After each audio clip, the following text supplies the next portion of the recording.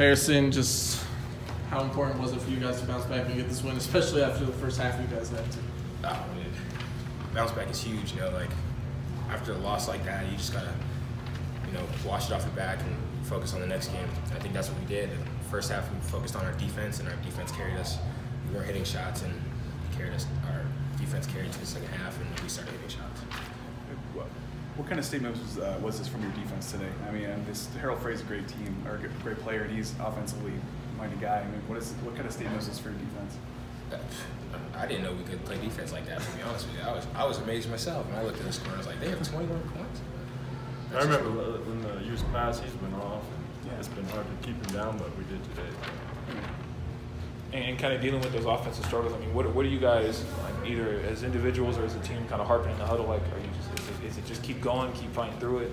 Uh, me personally, I just kind of just I work on the shots that I'm shooting, so they're gonna go in we just have trust in each other. If we move the ball, get the open shot.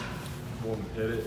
If not, get the offense rebound, keep playing. So that that uh, and one near the end of the game. I mean, probably, probably the most clutch play of the game. What, what went into that shot? What went into that play? What did you see? Um, well, they were taking my left hand away, so you know, I'm left hand like going left, but I just went anyway. Some say I traveled. I might have, and then he tripped me as I started falling. I just threw it up there, and I made it. So. uh, dealing with the foul differential early, I mean, it kind of fixed itself towards the end. But I mean, it was there were a couple calls here and there that could have gone either way and didn't tend to go your way. I mean, did that suck the momentum out of you guys? How did you guys fight through that? Uh, we know we're hacks, so we just kind of you know, make fun of the refs and keep moving. You know, we know we foul. And I mean, I, I, heard Coach Simon saying just us. You know, he kept saying that like every time there'd be a bad, you know, or, or, a missed call or something like that, or something that he didn't agree with. Just us, just us. Is that kind of model you guys carry? Uh, just like no matter what, like if the refs don't want to be on our side, or if the refs have a bad whistle or whatever, or the crowd's yelling at us, like we have, we all have each other. Like we're still a family. Like we still pick each other up and stuff like that. I mean, so far, two, three conference games in. What's the feel that you get playing against? I mean, Montana the other day. Uh, and uh, Montana State, Portland State a couple weeks ago. I mean, what's the feel that you get around the conference so far? It's going to be cutthroat. Anyone can beat anyone. And so this win's big because like one win could make a huge difference in our record, where it places us. So big. Three, three for 22 from three. Uh, I, you know, I, I, mean, I don't want to sound like a broken record. I mean, it's, but it seems like this has been something that has continued to, to be not, not necessarily an issue because but it, but it's been there. I mean, what what yeah, have you? What do you guys? shot worse than that. that's the that's the sad part. But you know, just that's one of those things. You just you know the shots you shoot in, in workouts in the gym. So if they're not falling that day, we got to find something else. Go to the basket, to the free throw line, try to get your, your shot feeling right. But it just didn't fall for us today. We came out to win. Amazing, amazing. Are those are those shots? I mean, I'm sure you guys take a lot of those practice, obviously. But uh, I mean, I mean, you, you feel comfortable going into them, and if you're just not hitting them, how do you handle it? I mean, being a, a three point shooter like you are. Uh, usually, if I'm not hitting a three, I try to just get something easy, see it go through the net, and then go from there. You know, so I try to kind of attack, get to the rim, um, and that's it leave me wide open. I'll just shoot it because I know I can make it. So. Harrison, uh, no, no afro anymore. What, what's what? When did the uh, change? Yeah. I'm not a boring guy, so I like to change it up a little bit. I'm waiting for Mace to get the braids. I'm nice, yeah.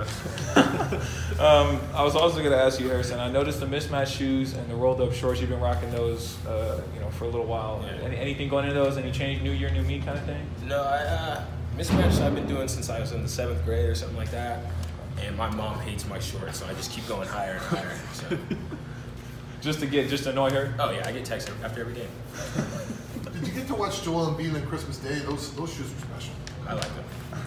They copied me, but. Statement about the contest, and then we will roll from there.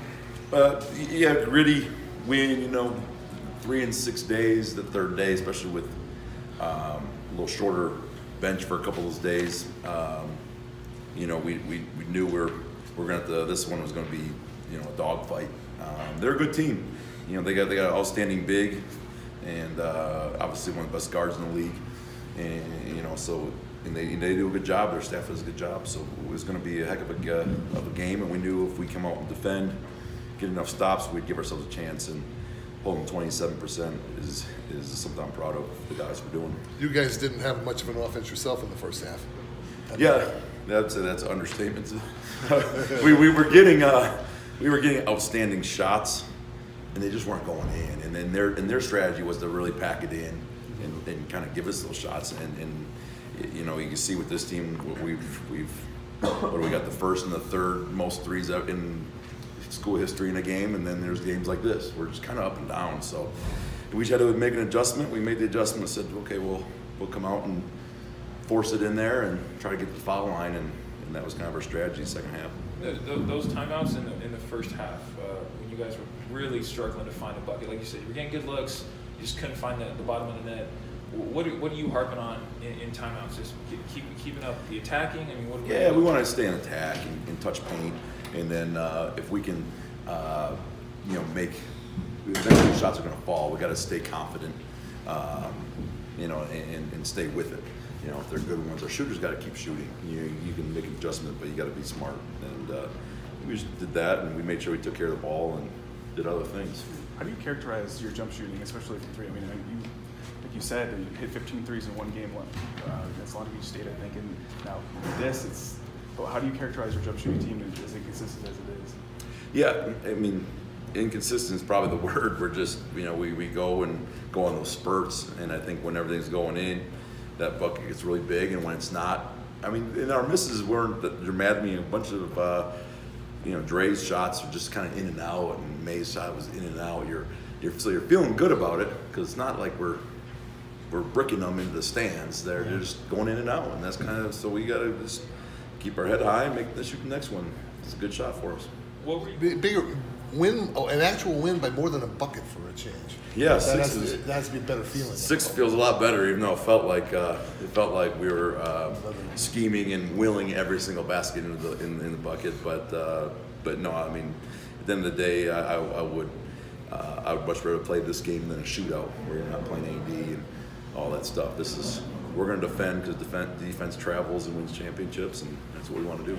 So, uh, uh, Harald's a guy that's gotten you in the past, in the past game, but you put Damani on him and he you know, scores level. Scores level. Was the defensive game plan coming into this game, and were you surprised that Damani did really well against one of the better offensive players in the league? Yeah, I mean, I believe he's averaged 28 and a half in this building, uh, which is, isn't exciting for us. So um, our deal was we were going to double team every ball screen. We're going to get it out of his hands, and somebody, anybody else, is going to have to beat us, but not him. And uh, you know, so John, you know, and John is is a dynamic defender. You know, he, he sold himself out on that defensive end, and, and then Damani would come in and he does that. He's special on that end of the floor. Is is he's just got a special special gift, and uh, you know, so those guys didn't. You know, Dre Marin took a few reps with them, and those guys did a great job. Made him really really work. Three three for eleven from the floor with five turnovers from arguably uh, as good a guard as there is in the league. You you you you know you got to be proud of those guards. And the, the foul count was a little lopsided. Uh, I, I know that, that that was something you guys were, were getting on, uh, or, or getting in the, the referee's ear at about the 10 minute mark, halfway point. It was like 8, 8, 8 to 2 or something like that. Um, uh, what you, you kept saying just us, just us. I noticed that. Is that that's something that, that is kind of a motto when things aren't going right? Just Yeah, we just got to focus on us, you know. I, I didn't really notice the foul count, um, but uh, you know, I, but I think, and I don't want our guys to be looking up and noticing that either. I think they just got to focus on on uh, you know playing their game and control what they can control. So uh, that uh, I'm gonna say speaking of fouls, but that last uh, big bucket by Maizen where he gets to end one. You know, some people might say he traveled, but other, he ends up making a big shot and one. Um, I think probably the most clutch play of the game. Is that the reason why you inserted him into the starting lineup? Yeah, I mean Mays is, is such a phenomenal player. I mean he's just he's going to be a guy that's a cornerstone of this program for so long. I mean he gets 13, 10, and, and four blocks again today. That's three straight double doubles too. Yeah, I mean he's, he's and, he, and he was that guy. And, you know, he had a little little lull in non-conference, but and, and then uh, but we knew exactly he, this is what he was doing in the fall. I mean, he was he's such a good player, and, got to keep finding ways to use them, and and uh, he'll keep getting his own because he plays so hard. I mean, there's nobody that plays harder than that guy in the entire country. And, and nobody gets hit in the face more either. But, uh, he, he, has a knack for, getting hit. But uh, no, he was. We can go to him, and, and, and he's become very reliable. Uh, talking about John Knight, uh, the charges. I mean, is it is there something that in practice? I mean, because you don't want him to get passive, but you also want to keep him out of foul trouble. I'm sure. Mm-hmm. Yep. And, and, and in a tight game like this, it, it kind of hurt. I saw you subbing in Damani on defense, letting him play offense, kind of switching back and forth. What, what are you looking for in terms of him to kind of get him away from that charge, that foul trouble? Yeah, you know, and what'll help is, you know, we, we, we kicks it a few times.